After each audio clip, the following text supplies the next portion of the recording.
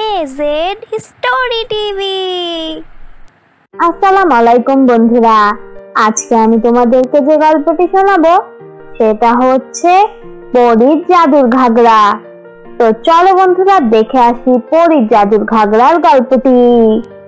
পরীনগরের পরিদের যেই জামাগুলোর জাদু নষ্ট হয়ে যেত, সেই জামাগুলো ওরা ফেলে দিত। আর পরীরা ওই জামাগুলো পরীনগরে ফেলতো না। ওরা সব সময় ওগুলো পৃথিবীর ময়লাতে ফেলতো। যেখানে ওরা জামাগুলো ফেলে দিত, তার পাশে কামিনী নামের একটি লোভী মহিলা বাস করত। উনি এক টাকা লোভও ছাড়তো না। কিরে কালান, আমার টাকা কি করেছিস? দুই টাকা এখানে কম আছে। বাজারের জন্য কতগুলো টাকা তোকে দিলাম? আরে মা, এত চেঁচিও না তো। দুই টাকাই তো মাত্র। নাও নাও, এই যে দিচ্ছি। দুই টাকায় কেন নিবি তুই? তোকে আমি বলেছি না, এক টাকাও আমাকে কম দিবি না, এক টাকার হিসাব আমি রাখি। একদিন কামিনী দেখে ফেলল, সুমান পরি, পরিদের জামাগুলো ডাস্টবিনে ফেলে দিচ্ছে। আরে পরি, আপনি এগুলো জামা ফেলে দিচ্ছেন যে? হ্যাঁ এগুলো আর আমাদের দরকার নেই। কিন্তু আপনাদের জামা তো জাদুর হয়। এগুলো কি জাদুর জামা? না না, এগুলো জাদুর জামা না। এই জামাগুলো জাদু নষ্ট হয়ে গেছে। তাই এগুলো আমরা আর ব্যবহার করি না। ও আচ্ছা ঠিক আছে। জামাগুলো দেখে কামিনীর মনে লোভ চলে আসলো। পরি, আপনি যদি কিছু না মনে করেন, আমি তো এই জামাগুলো নিয়ে যেতে পারি। তুমি এগুলো নিয়ে যেয়ে কি করবে? এগুলো তো নষ্ট জামা।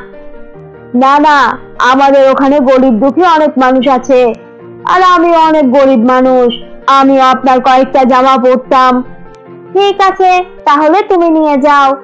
আর এরপর থেকে আমি যদি জামা পাই, সবকিছু আমি তোমাকে দিয়ে আসব। তুমি এগুলো গরিব দুঃখী মানুষদের ভিতরে বিতরণ করে দিবে।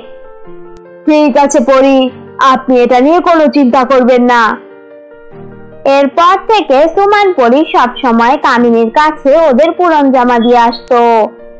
সেই জামাগুলো দিয়ে আস্তে আস্তে কামিনী একটি দোকান খুলে ফেলল। আসেন আসেন আসেন জামা নিয়ে যান একশো একশো একশো খালি একশো খালি একশো খালি একশো।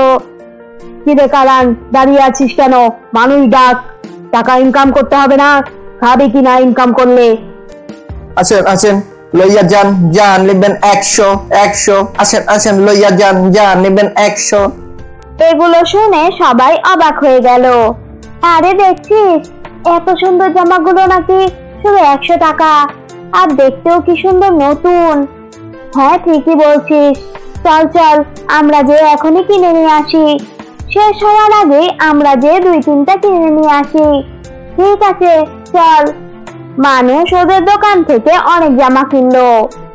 এরপরে যখন সুমান পরি কামিনীর কাছে এলো, তখন কামিনী বলল পরি আপনাকে একটা কথা বলি।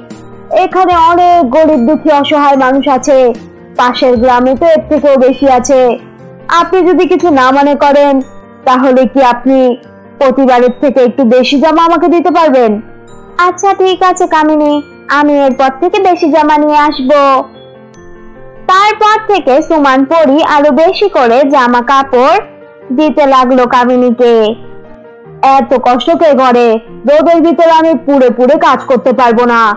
এখন আমি অনলাইনে ব্যবসা করব। কামিনী আলাইনা নামের একটি গরিব মেয়েকে ওর কাজের জন্য রাখল। ওকে দিয়ে পরিবেশ সব জামা অনেক ভালো মতো ধোয়াতো। তারপর ওগুলো আয়রন করাতো। এরপর ওকে দিয়ে ডেলিভারি করতে পাঠাতো। এভাবে করে আলাইনাকে দিয়ে কামিনী অনেক কষ্ট করাতো। কিন্তু ওকে অনেক কম টাকা দিত। আলাইনার বুড়ো দাদা দাদি ছিল ওদের দেখাশোনাও ওকেই করতে হতো। এই টাকা দিয়ে ওদের সংসার একদমই চলতো না। একদিন আলাইনা কামিনীকে বলল, ম্যাডাম, আপনি যদি কিছু না মনে করেন, আমাকে যদি একটু বেতনটা বাড়িয়ে দিতেন। আমি তো ডেলিভারির কাজও আপনার করি। সব কাজে আমার অনেক পরিশ্রম হয়। যদি একটু বেতন বাড়িয়ে দিতেন এই, তোর তো অনেক সাহস বেশি। আর তুই তো দেখা যায় অনেক লোভী। আমি এক টাকাও তোকে বাড়িয়ে দিব না। এই টাকা দিয়ে দরকার পড়লে আমি দুইটা মেয়ে রাখব। তারপরে আমি তোর বেতন বাড়িয়ে দিব না। আলাইনা ভয় পেয়ে গেল। না না, ম্যাডাম, ঠিক আছে। আমি কোনো টাকাই বাড়াতে বলব না আর। আপনি যা দেন সেটা দিয়ে আমার হবে। কারানের এটা শুনে অনেক খারাপ লাগল। যখন আলাইনা চলে যাচ্ছিল তখন কারান ওকে ডেকে বলল তুমি জানোই তো আমার মা কতটা লোভী। ইস তোমাকে দেখে আমার খুব কষ্ট হচ্ছে। আচ্ছা দাঁড়াও নাও আমি তোমাকে কিছু টাকা দিচ্ছি না না স্যার আপনি টাকা দিয়েন না। ম্যাডাম দেখলে আবার রাগ করতে পারে। আরে না না মা জানবে না। মা কীভাবে জানবে? না তুমি মাকে বলবে আর না আমি মাকে বলব। আর আমি তো এটা তোমাকে সাহায্য করার জন্য দিয়েছি। তারপর আলাইনা কারানের থেকে টাকা নিল। সে টাকা দিয়ে ও দাদা দাদির জন্য ওষুধ কিনলো। তারপর ও বাড়িতে গেল। আলাইনা তোর ম্যাডাম কি তোকে টাকা বাড়িয়ে দিয়েছে? হ্যাঁ, দাদি বাড়িয়ে দিয়েছে। সেটা দিয়েই তো তোমাদের ওষুধ কিনে নিয়ে আসলাম। তোমরা এত চিন্তা করো না তো তোমরা সব চিন্তা আমার উপরে ছেড়ে দাও। তুই কত কষ্ট করছিস আর ভালো লাগে না। এখন তো মনে হয় মরে গেলেই তুই বেঁচে যাবি। আরে দাদি, তুমি এগুলো কি বলছো? একদম এগুলো চিন্তা করবে না তোমরা। আমি যতদিন আছি, ততদিন তোমাদেরকে বেঁচে থাকতে হবে। তোমাদেরকে ছাড়া আমার আর কে আছে বলো? তোমরা এগুলো কথা একদমই বলবে না। একদিন কামিনী বাসায় ছিল না। তখন সুমান পরি জামা কাপড় দিতে কামিনীদের বাড়িতে এলো। হ্যাঁ পরি বলেন আমাকে, কি দরকার আপনার? এখান থেকে কোন জামাটা নেবেন আপনি? আরে, আমি তো এখানে জামা কিনতে আসিনি। এটা কামিনীর বাড়ি তো? হ্যাঁ হ্যাঁ এটা তো ম্যাডামেরই বাড়ি। তো আমি তো ওকে জামা কাপড় দিতে এসেছি। আমি তো কোনো জামা কিনতে আসিনি। আর কামিনীর কি কোনো জামার ব্যবসা আছে? হ্যাঁ আমার ম্যাডাম তো জামার ব্যবসা করে। ঠিক আছে, চলো তো দেখে আসি। কামিনী কোন জামার ব্যবসা করে? তারপর পরি যে দেখল ওদের যত ঘাগরা, লেহেঙ্গা ড্রেস ছিল, সবকিছু কামিনী বিক্রি করছে। এরপর সুমান পরি সবকিছু বুঝতে পারল।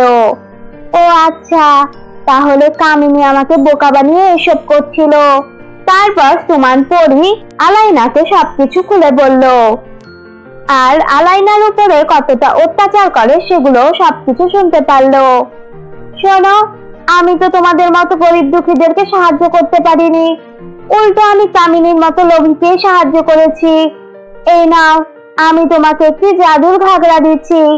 এটা আমাদের ঘাগড়া পরিদের জাদুর ঘাগড়া তুমি এটা পরে যেটা চাবে সেটাই পাবে। তুমি তোমার দাদা দাদিকে সুখে শান্তিতে থাকো। তারপর আলাইনা ওই জাদুর ঘাগরা নিয়ে ওখান থেকে চলে গেল। যখন কামিনী এসে দেখল সুমান পরি ওর জামা কাপড়ের সামনে দাঁড়িয়ে আছে, তখন কামিনী বুঝতে পারল সুমান পরি সবকিছু জেনে গেছে। ইয়ে পরি, আসলে আমাকে মাফ করে দেন। কেন আমি তোমাকে মাফ করব? তুমি আমার সাথে কতটা ছল করলে? তুমি বললে গরিব দুঃখী মানুষদেরকে সাহায্য করবে, কিন্তু তুমি এটা একদমই করনি। এখন থেকে আমি নিজে পৃথিবীর গরিব দুঃখী মানুষদেরকে সাহায্য করব। তোমার মতো লোভীকে আমি আর কোনোদিনও বিশ্বাস করব না। তোমাকে তো ইচ্ছে করছে আমার শাস্তি দিতে। না না পড়ি আমাকে শাস্তি দিবেন না। হ্যাঁ আমি তোমাকে শাস্তি দিব না। কারণ এটা আমি তোমার প্রথম ভুল মনে করে তোমাকে মাফ করে দিচ্ছি। তারপর পরি ওখান থেকে চলে গেল। আলাইনা বাসায় যে ওই জাদুর ঘাগরা পড়ল। জাদুর ঘাগরা আমাদেরকে অনেক বড় লোক করে দাও, যেন আমার দাদা, দাদি আর আমার কোনো অসুবিধা না হয়। আস্তে আস্তে এই জাদুর ঘাগরার সাহায্যে আলাইনা অনেক বড় লোক হয়ে গেল। এরপর ও ও দাদা দাদির সাথে খুশি খুশি থাকতে লাগল। তো তোমরা দেখলে বন্ধুরা, পরির জাদুর ঘাগরার গল্পটি। এই গল্পটি ভালো লাগলে লাইক করো, আর কেমন লেগেছে এটা জানাতে কমেন্ট করো। আর হ্যাঁ বন্ধুরা আমাদের এজেড স্টোরি টিভিকে সাবস্ক্রাইব করো। আল্লাহ হাফেজ।